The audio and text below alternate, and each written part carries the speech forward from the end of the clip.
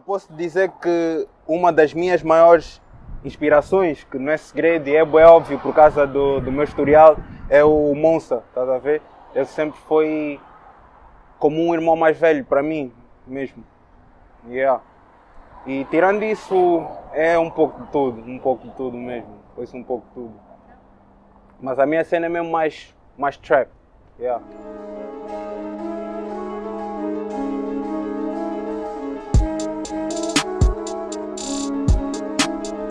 Não tenho assim muitas lembranças boas da, da minha infância, estás a ver? Uh, eu comecei a ter tipo boas memórias, boas recordações só lá após 12 anos e isso foi quando eu conheci os rapazes, né? Yeah. E foi mesmo só por causa do people que me rodeava. A princípio fui sempre uma criança muito, muito tímida, muito no meu canto, estás a ver?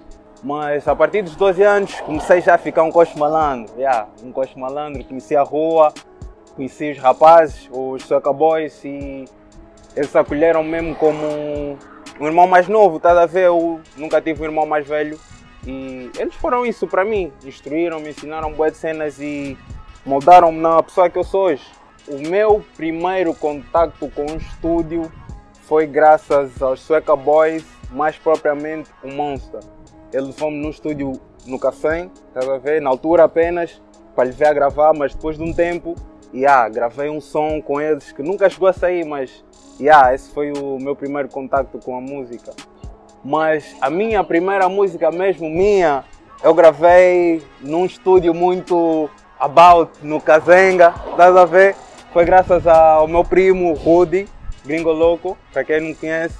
Mas já, ele levou-me aí no estúdio no Kazenga, e yeah, mesmo shit, estás a ver? Yeah. Eu desde pequeno sempre admirei o hip hop. Eu gosto de dizer que eu sou hip hop, estás a ver? Em todo sítio que eu vou, eu sou hip hop. Tenho aí fora o meu mais recente single, que é o Kit, com vídeo, tá aí, YouTube, Spotify, Apple Music, everywhere.